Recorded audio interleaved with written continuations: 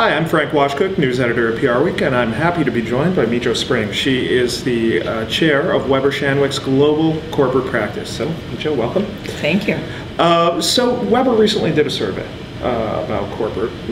Why don't you fill us in on some of the findings from the survey? So we talked to uh, 19, um, a, a, combination of general counsel and uh, communicators across industries who had managed crisis in the last um, year or two, and it was really a wide variety of crisis. It was interesting to see the, the how varied, how different they were, but through it all, uh, we saw certain trends which were quite interesting in how the relationship between lawyers and communicators mm-hmm. is really evolving in this very different um, you know era that we live in where you've got to respond to crisis instantly where you're um, not it's no longer whether or not a company will uh, face a crisis but when they'll face a crisis and where everybody sees how a company responds to crisis as a defining moment in terms of uh, reputation. So it was a very interesting uh, set of findings. Were there any specific industries that did better than others, uh, that were standouts, so to speak?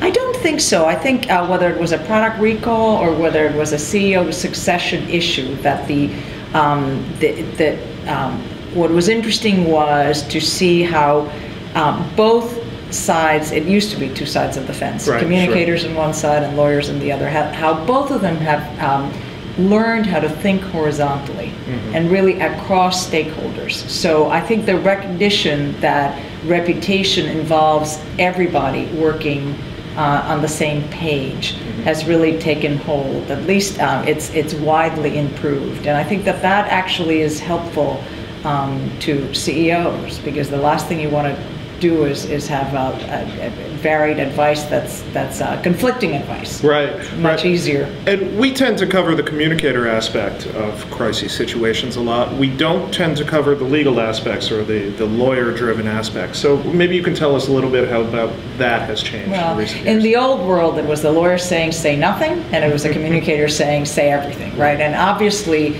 we have both learned to walk in each other's shoes, right. and we understand that you know there's one a wonderful quote by a lawyer that says the legal radar extends beyond liability. Mm-hmm. Uh, if you really understand, you've got to really understand the, the full impact on, on the business, mm-hmm. not just on whether or not success in either reputation or business is not just avoiding litigation or avoiding regulatory um, issues. It's really understanding how to weigh the trade offs.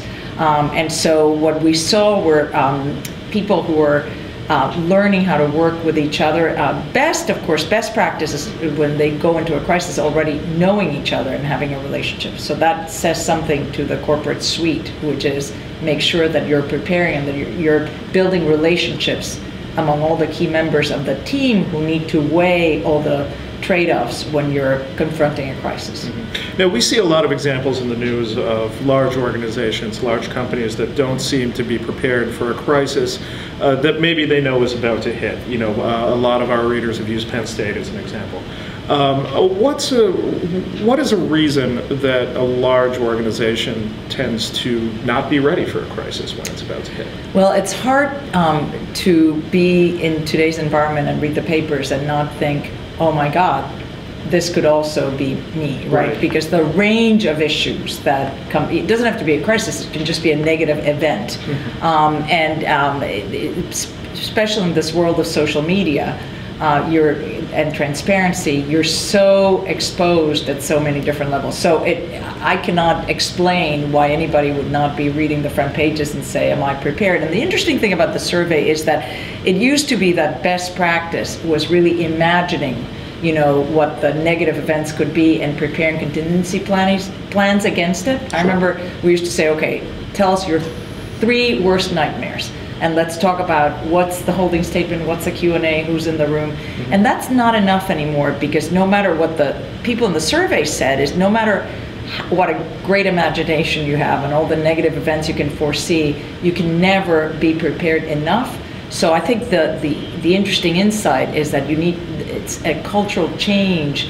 Um, is what's needed so that you evolve into a culture, a culture of preparedness, of alertness so that everybody knows that if something hits, there's a, a kind of a shortcut that needs to be um, you know, uh, triggered, where you can make decisions rapidly, you can decide what to say, and the right people are in the room to okay it, et cetera, et cetera. So it's it's more the evolution of to a culture of preparedness than having the best set of contingencies that you can think of. Very interesting. Again, this is Micho Spring from Weber Shandwick, and I'm Frank Washkuch, the news editor of PR Week. Thanks again.